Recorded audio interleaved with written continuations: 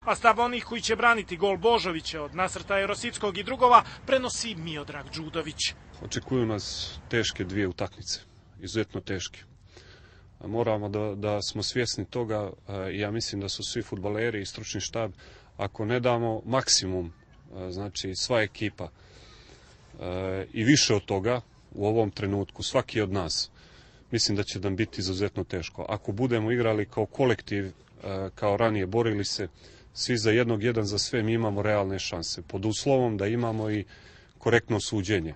Nasrću na Đudovića u posljednje vrijeme napadači, kao da nije bilo dovoljno što ga je Runi udario bez lopte u duelu sa Engleskom, već je prije deset dana špic CSKA Wagner Lov divljački nasrnuo na njega. Ruski novinari su malo nekorektno prenijeli informaciju da sam ja pisao pismo ovaj, UEFA da da su amnestiraju njega i tako to, mislim da nije bilo to tako i nije to bila moja inicijativa. Ja sam samo podržao inicijativu ruskog sportskog lista Sovjetski sport, glavnog urednika i novinara i određenih, kako su oni rekli, navijača i poklonika Manchester Uniteda i samog Runija.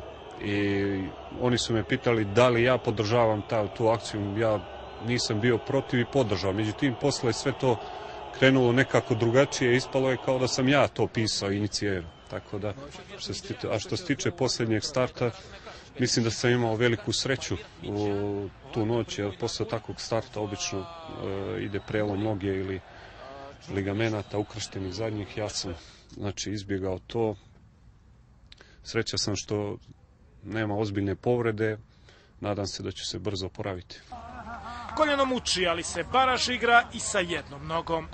Već 3-4 dana radim, već izašao sam, počeo sam da treniram teretanu i na terenu. Juče sam izdržao cijel trening, danas isto individualno ćemo raditi sa pomoćnim trenerom.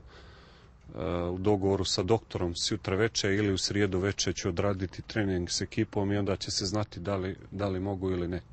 Od avgusta 2010. do marta 2011. Sokoli su Sokolski vezali sedam mečeva, četiri u kvalifikacijama, bez primljenog gola. Od tada su, međutim, u pet mečeva za redom primali pogodke ukupno deset ili dva prosječno.